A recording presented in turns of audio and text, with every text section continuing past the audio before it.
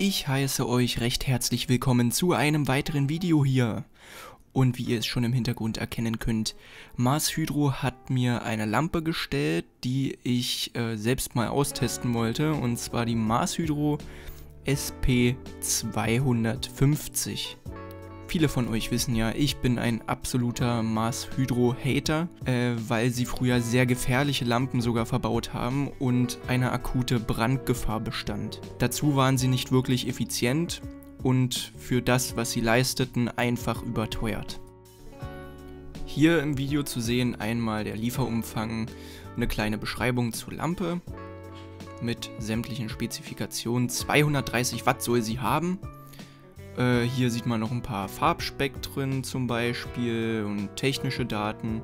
Wobei das, was dort steht, darauf kann man sich Mars Hydrolike nicht verlassen. Die Gewährleistungskarte, wo auch ein bisschen erklärt wird, wie der ganze Gewährleistungsprozess funktioniert. Hier rechts zu sehen eine kleine Übersicht. Ähm, ich muss sagen, Mars Hydro ist immer recht kulant aber das ist immer ein bisschen schwierig, die Kommunikation. Hier sind die Aufhängungen schon dabei tatsächlich. Äh, die Lampe ist auch recht groß, die ist einen knappen Meter und äh, eigentlich geeignet für Zelte in der Größe äh, 1,20 x 60. Die ist wirklich sehr, sehr groß.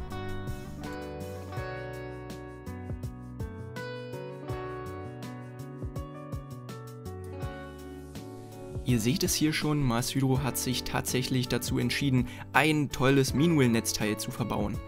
Somit habt ihr die Sicherheit, dass mit der Lampe nichts passiert, während ihr zum Beispiel auf Arbeit oder unterwegs seid.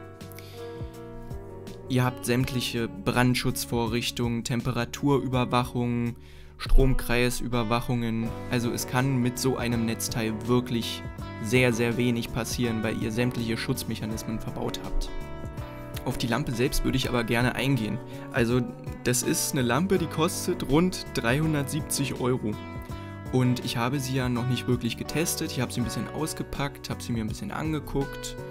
Ähm, und sie ist wirklich, muss man sagen, von der Qualität besser als die vorherigen Lampen, wie wir sie alle kennen mit ihrem lila Lichtspektrum von Mars Hydro.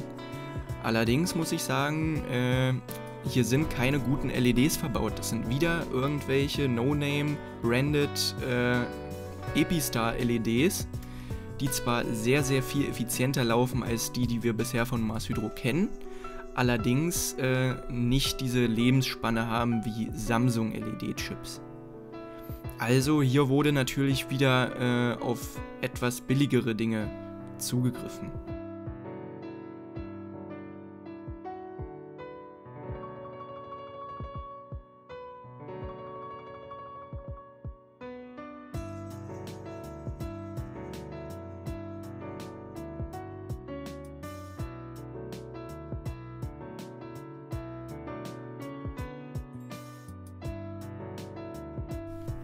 Also ihr seht es schon, die leuchtet sehr sehr hell auf, läuft mit rund 230 Watt und ihr habt am Netzteil selbst die Möglichkeit hier, ich weiß nicht ob man es so gut erkennt, aber ihr könnt die LED dimmen.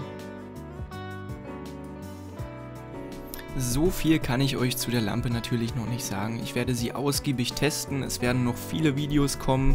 Es wird ein Test kommen, ob sie wirklich wasserdicht ist. Das werden wir richtig testen mit einem Glas Wasser, das wir einfach drüber kippen über die LEDs. Und äh, es bleibt in Zukunft abzuwarten, wie sich die Lampe macht.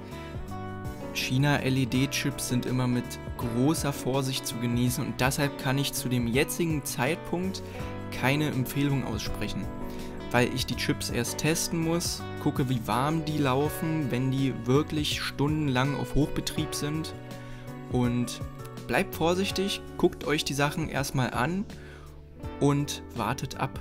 Kauft das Ding noch nicht, vor allem nicht für 360 Euro.